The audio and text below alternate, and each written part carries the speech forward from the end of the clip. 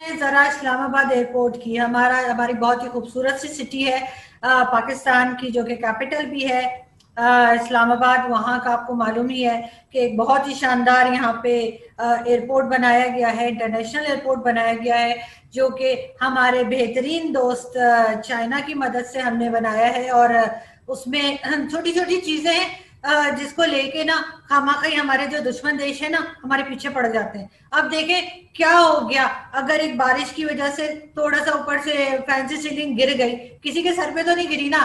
नीचे कोई भी नहीं था, सब लोग साइड पे थे। तो अगर ऊपर से गिर गई तो क्या ज़रूरत है कि हमारे दुश्मन देश भारत को, कि वो बार बार हमें उस पर ताने मारे कि देखो जी देखो जी, इन्होंने जो है वो चाइना के साथ मिलके एयरपोर्ट बनाया था और ऊपर से फैंसी सीलिंग जो है वो गिर गई। ऐसी क्या बात हो गई अगर एयरपोर्ट में पानी भर गया तो? भाई, पानी जो सबसे बड़ा मसला है इंडिया पाकिस्तान का। पानी तो सबसे बड़ा इश्यू है। साउथ एशिया का पानी कितनी, पानी की कितनी ज़्यादा कमी है, आपको मालूम है ना?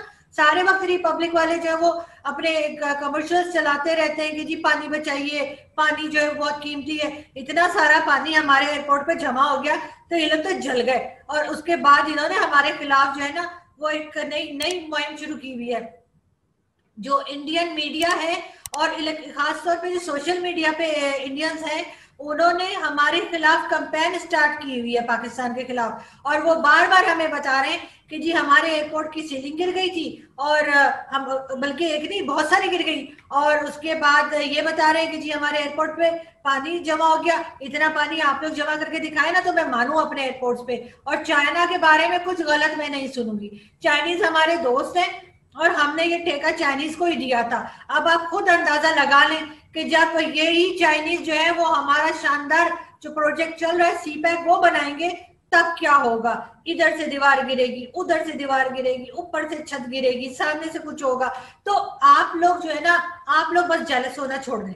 इंडियंस के लिए खास तौर पे मैं ये वीडियो बना रही हूँ। खबरदार आप लोगों ने अगर चाइनीज़ को कुछ कहा तो। चाइना हमारा दोस्त है और चाइना हमारा बहुत अच्छा दोस्त है और चाइना हमें जो भी प्रोजेक्ट करके देता है, वो इसी तरह का होता है। और उसकी एक और वजह है उसका ये है कि देखें, अगर वो चाइना ऐसा प्रोजेक्ट बना देगा, हमें हमारा एयरपोर्ट इतना उसने अच्छा बना दिया होता कि वो सालों उसको कुछ होता ही नहीं तो कितनी बोरिंग हो जाता ना।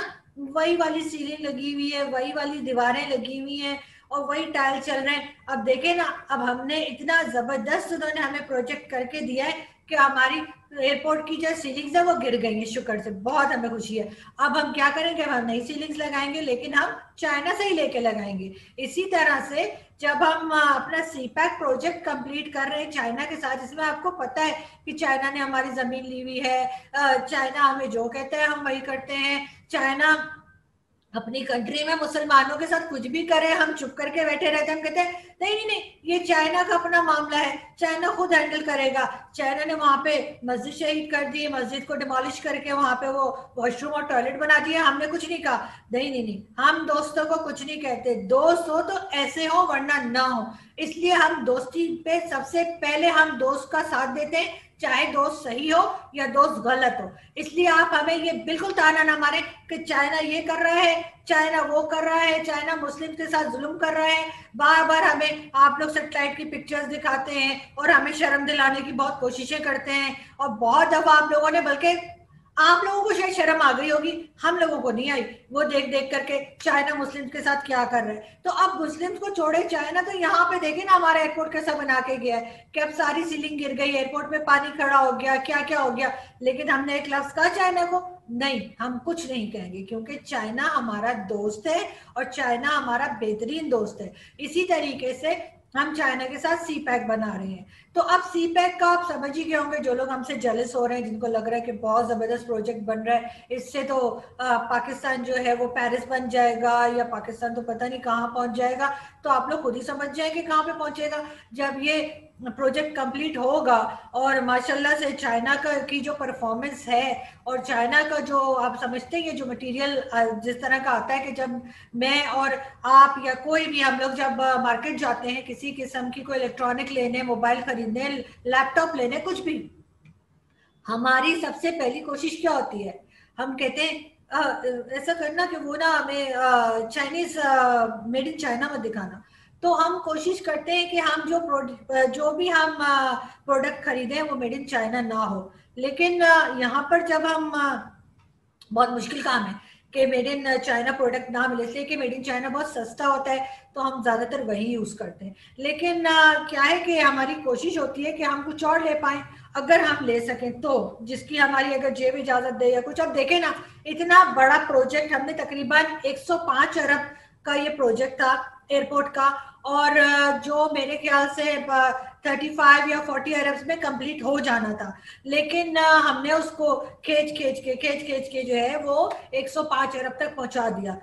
क्यों ना पहुंचाते? जो लोग इसमें इन्वॉल्व थे, जिसमें बहुत सारे पुराने हमारे रिटायर्ड आर्मी ऑफिसर्स भी थे, हमारे ब्यूरोक्रेट्स भी थे, हमारे पॉलिटिशियंस भी थे, और भी हर तरह के जो हम पंजाबी में यहाँ पे बोलते ना, वड्डे लोग जो, वो सब इसमें इन्वॉल्व थे। तो उन्होंने जब इतना अपना दिमाग खर्च किया, इतनी अपनी एफर्ट लगाई कुछ खाएँगे भी ना, कैसे निकल जाएँगे? आप लोग तो पता नहीं क्या समझ समझ के रखते हैं आपको, पता है कितनी महँगाई है? पाकिस्तान में हर चीज़ इतनी महँगी हो गई है कि बंदा करप्शन ना करे तो क्या करे? तो ज़ाहिर है कि वो प्रोजेक्ट जो 45 या 50 के अंदर बन जाना था, या शायद 35 40 के अंदर बन जाना था, उसको 105 पे पहुँचा दिया। इसीलिए कि ताकि सब लोग मिलके खा सके और उसके बाद जो है ठीक है, ये तो चलता रहता है ना। देखे, अभी सीलिंग गिर गई है, दोबारा लगा देंगे। लेकिन इंडियंस जो है ना, उनसे मैं बहुत नाराज़ हूँ कि देखें, आप लोग इस तरह से हमारा मज़ाक उड़ा रहे हैं और आप इस तरह से बार बार जो है वो वो वीडियो लगाए जा रहे हैं एयरपोर्ट की। क्या हो गया? अगर आपको थोड़ी पैसे देने, पैसे तो हमने देने ना, हम दोबारा बना लेंगे। हमारे पास बहुत पैसे हैं, आप लोगों को नहीं पता, हमने छुपा के रखे वो तो हम वैसे कटोरा लेके फिरते रहते ताकि कोई हमारे से मांग ना ले।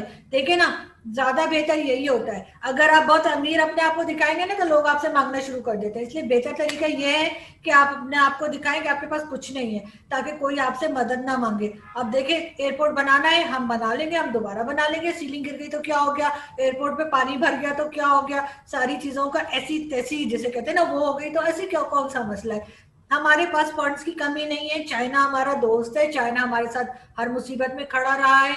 और चाइना हमें डबोरे तक सॉरी चाइना हमें बचाने तक हमारे साथ ही खड़ा रहेगा। और उसके बाद भी शायद हो सकता है खड़ा ही रहे हमारे साथ।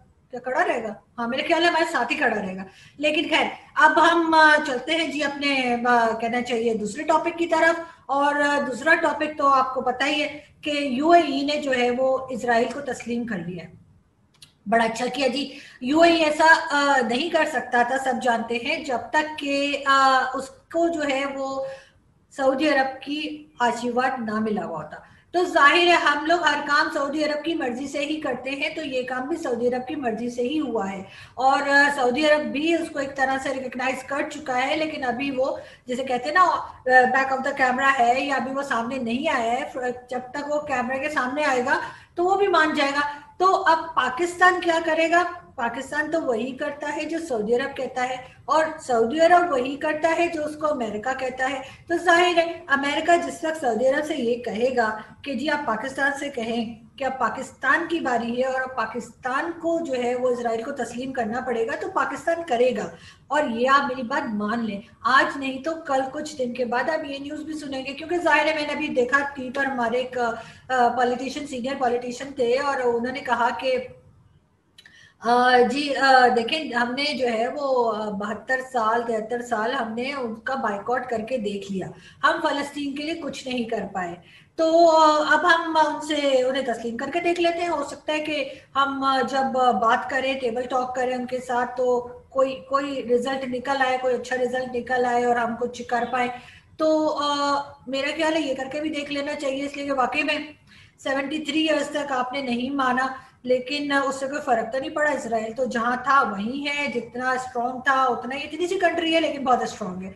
ये बात हमें माननी पड़ेगी। और अब अगर अमेरिका जो है, वो तो आप जानते ही हैं कि अमेरिका जो है, वो इस वक्त सुपर पावर है, और चाहे वो भारत हो या पाकिस्तान हर कोई उसकी बात सुन रहा होता है। तो अगर वो सऊदी अरब से कहेगा और सऊदी अरब हमें कहेगा तो कल को हमें भी जो है वो इसराइल को तस्लीम करना पड़ेगा और ये चीज़ें हमारे पाकिस्तानी जो भी मेरा ख्याल है इस वीडियो के बाद नीचे आ, मुझे उल्टा सीधा लिखना शुरू करेंगे। वो भी ये बात आ, अच्छे से समझ लें कि क्या होने जा रहा है और अपने आप को खुद आप तैयार कर लें बजाय इसके कि आप जो कोई बात कर रहा हो उस उसको बुरा भला कहें लेकिन बाद में होना ये ये जो मैं बता रही हूँ आपको। इसलिए कि हमारे पास कोई और रास्ता है नहीं। अगर देखिए ना, सऊदी अरब ने आपसे जो पैसे वापस लिए हैं पाकिस्तान से, वो किस लिए लिए हैं? इसलिए कि क्या सऊदी अरब को ज़रूरत थी? नहीं, सऊदी अरब को कोई ज़रूरत नहीं थी। सऊदी अरब इस वक्त भी बहुत स्ट्रांग है, सऊदी अरब के पास इस वक्त भी बहुत फंड्स है, लेकिन ज़ाहिर है उससे डायरेक्टली या इनडायरेक्टली किसी ना किसी तरीके से उसे पाकिस्तान के ऊपर एक प्रेशर बिल्ड करना था जो उसने कर दिया है। अब यहाँ से लोग जाएँगे और उनके सामने हाथ जोड़ेंगे और उनके पाँव पकड़ेंगे, जो वो कहेंगे वो मानेंगे, वापस आएँगे। और फिर आके जिसे कहते हैं ना कि आपको अपनी आवाम को जो है वो एक जादू की झप्पी नहीं, जादू की टोपी कोई पहनाएँगे, कोई टोपी घुमाएँगे, छड़ी घुमाएँगे और आपको कोई कहानी सुना देंगे और फिर कहेंगे, जी, हम भी तस्लीम कर रहे हैं। कर लेना चाहिए। लेकिन सबसे बड़ी बात, चाइना में जो मुस्लिम्स के साथ हो रहा है, उस पर कब बोलेंगे? कितनी बार हमें, हम खुद देख चुके हैं सोशल मीडिया पे भी और दूसरे, दूसरी कंट्रीज़ के चैनल्स पे भी उन्होंने अपनी सेटेलाइट फुटेजेस और क्या क्या कुछ हमें नहीं दिखाया कि वहाँ पे चाइना में जो है मुस्लिम्स के साथ क्या हो रहा है। लेकिन मजाल है कि यहाँ से कोई बोला हो, किसी की आवाज़ नहीं निकली, किसी ने चू तक नहीं की कि जी ऐसा क्यों हो रहा है। अभी रिसेंटली उन्होंने किस तरह से जहाँ पे मस्जिद थी, वहाँ पे उन्होंने वॉशरूम्स बना दिए हैं, लेकिन उस पर भी कोई नहीं बोल रहा है। इस वक्त सबको साफ़ सूखा हुआ है, किसी को इस्लाम याद नहीं आ रहा। लेकिन हाँ अभी कहीं और कुछ हो जाए तो फ़ौरन एकदम से जो है वो सारी मुस्लिम उम्मा खड़ी हो जाएगी और सब बोलेगी। लेकिन इस वक्त पाकिस्तान समेत जितने भी इस्लामिक कंट्री हैं, कोई भी चाइना के मुस्लिम्स के लिए आवाज़ तक नहीं उठा रहा, आवाज़ उठाना क्या, चू जैसे हम कहते हैं ना, चू नहीं कर रहा कोई। तो वो चीज़ जो है, ये ये डबल स्टैंडर्ड जो है, ये हम कब तक सहते रहेंगे और कहाँ तक पाकिस्तान तो चले एक तरह से बंधा हुआ है, गुलाम बना हुआ है चाइना का। अगर हमने चाइना को कुछ कह दिया तो चाइना ने तो हमारा जो हाल करना है, वो हमें अच्छे से पता है। लेकिन बाकी सबको क्या हुआ है? बाकी दुनिया को क्या हुआ है? वो लोग तो चाइना के गुलाम नहीं है हमारी तरह। वैसे हम दोस्त कहते हैं, लेकिन अगर दोस्त जो है, वो आपके बिज़नेस में पैसा लगा दे तो फिर वो दोस्त ही रहता। वो फिर आपका बॉस बन जाता है। तो बिल्कुल इसी तरह से चाइना ने हमारे जो प्रोजेक्ट्स है उसमें पैसे लगाए हुए तो चाइना हमारा दोस्त ही है, चाइना हमारा बॉस है। तो इसलिए हम बॉस से तो कुछ कह नहीं सकते। लेकिन जो बाकी इस्लामिक कंट्रीज़ है, वो तो बात कर सकती है। इस्लामिक कंट्री ना भी हो, इंसान के तौर पे ही सही। ह्यूमन राइट्स वाले तो बात करें ना कि वहाँ के चाइनीज़ मुस्लिम्स के ऊपर जो जुल्म हो रहा है, उसके खिलाफ वो तो बोल सकते हैं। हमारी तो मजबूरी है ना, हमारी तो रोजी रोटी लगी हुई है। आप लोग क्या चाह रहे हैं कि हमारे पॉलिटिशियन उठ के बोलना शुरू कर जाए और जो थोड़े बहुत निवाले हमें मिल रहे हैं, वो भी बंद हो जाए?